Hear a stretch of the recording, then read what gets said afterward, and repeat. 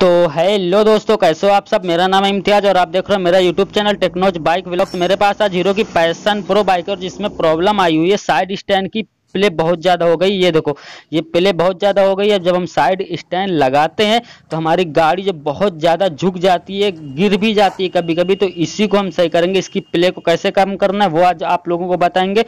तो आप लोग वीडियो पे बने रहना तो चलो वीडियो को करते हैं स्टार्ट। सबसे पहले क्या करते हैं प्लास लेते हैं आप पेचका से क्या करते हैं, इसकी जो स्प्रिंग रहती है, ये वाली साइड स्टैंड की, इसको हम यहाँ से इस तरीके से प्लास से निकाल देंगे। तो प्लास से ना निकले तो आप पेचकस का भी यूज़ कर सकते हो। देखो, ये पेचकस से भी निकल जाएगी। मैं कोशिश कर रहा हूँ, ये देखो, यहाँ से नहीं निकल रही तो हम नीचे से इस तरीके से उठाएँगे। तो ये देखो, हमारी स्प्रिंग बाहर हो गई। इस तरीके से बाहर कर लेना। अब इसके बाद हमारा जो सत्रह नंबर का बोल्ट यहाँ पे अगर पीछे देख रहा हूँ तो पीछे नहीं, हमारा सिर्फ़ आगे बोल्ट है। तो आगे का हम इसको पूरा खोल लेते हैं। तो इसका हम पूरा खोलने के बाद इसका साइड स्टैंड बाहर निकालते हैं। बाहर निकालने के बाद इसकी प्ले कैसे कम करनी, वो आज आप लोगों को बताते हैं।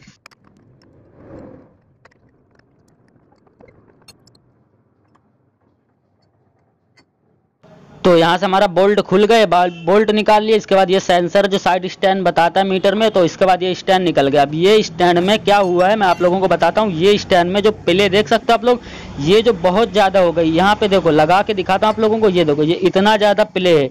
तो हमारी जो बाइक साइड स्टैंड पे लगाते तो हमारी बाइक जो बहुत ज़्यादा झुक जाती है, गिर भी जाती है कभी कभी तो इसी को आज सही करने वाले हैं। तो यहाँ पे देखो प्ले बहुत ज़्यादा ये देखो, इसका प्ले जो कम करने के लिए हमको क्या करना पड़ेगा यहाँ पे? ये देखो प्ले जो बहुत ज़्यादा हो गई, इसमें इतना ज़्यादा प्ले ये देखो, ये ये देखो। इतना प्लेयर नहीं रहना चाहिए, इसको कम करना है तो चलो कम करते हैं, इसको लेते हैं एक हथौड़ी, और हथौड़ी से क्या करेंगे हम, इसको में चोट मारेंगे। इस तरीके से यहाँ पे रख के इसमें चोट मार के इसको दबा देंगे, बस और कुछ नहीं करना है।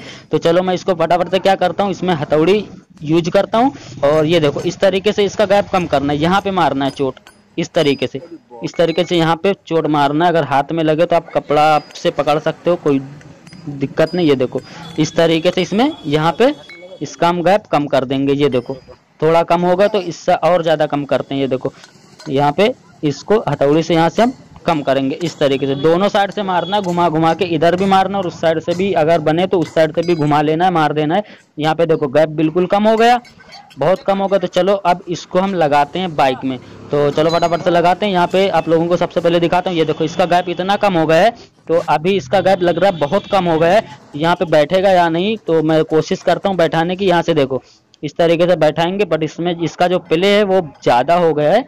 तो चलो इसको हम क्या करते हैं फिटिंग करते हैं, यहाँ से हथौड़ी लेते हैं, ये देखो, ये गैप जो बहुत कम है तो यहाँ पे मैं बैठाने की कोशिश कर रहा हूँ, पहले बैठ जाए तो अच्छी बात है, हथौड़ी से इस तरीके से हम इसको चोट मारेंगे तो बैठ जाए बट इसमें ये बैठ नहीं रहा है यहाँ से ये देखो, बैठ नहीं रहा है तो इसको कोशिश करना है, बैठ जाए तो बढ़िया है प्ले तो बिल्कुल ख़त्म हो जाएगी अगर बैठ गया तो यहाँ पे हम बैठाने की कोशिश कर रहे हैं, हल्का जो चढ़ गया है तो और मारते हैं इसमें चोट, ये देखो यहाँ पे नहीं चल रहा है तो इसको निकालते हैं बाहर, इसका गैप थोड़ा सा बढ़ाते हैं। कैसे बढ़ाना है आप लोगों को, वो बताते हैं। तो लेते हैं एक छेनी, ये देखो, ये छेनी इस तरीके से ले लेना है और यहाँ पे स्टैंड के बीच में रख के यहाँ पे इस तरीके से इसका हल्का सा गैप बढ़ा देना है, ये इस तरीके से। इस तरीके से इसका हल्का सा गैप बढ़ा देना ये देखो थोड़ा सा बढ़ गया। तो अब चलो इसको देखते हैं, लगता है या नहीं। तो यहाँ पे थोड़ा सा देखते हैं, तौड़ी मार के अंदर चला जाए। तो इस तरीके से देख लेना है, तौड़ी मार के, ये देखो, अभी भी नहीं जा रहा है।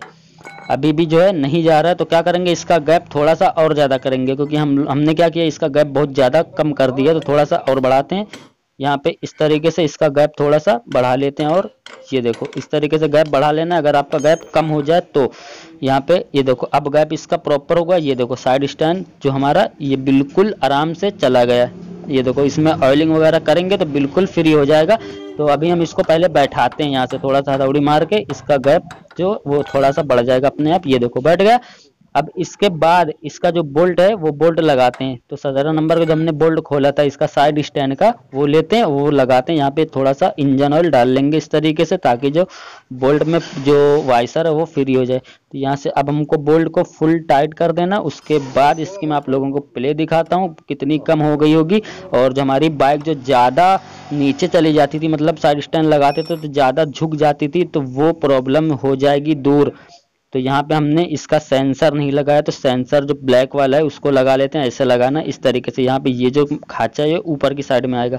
इस तरीके से लगा लेना। अगर हम इसको नहीं लगाते तो हमारा परमानेंट सेंसर जो है साइड स्टैंड का, वो जलने लगती है लाइट तो सेंसर हम लगा के इसके जो बोल्ट है बोल्ट को फुल टाइट कर लेना है। तो चलो बोल्ट को फुल टाइट कर लेते हैं, उसके बाद इसकी स्प्रिंग बताते हैं कैसे लगाना आप लोगों को।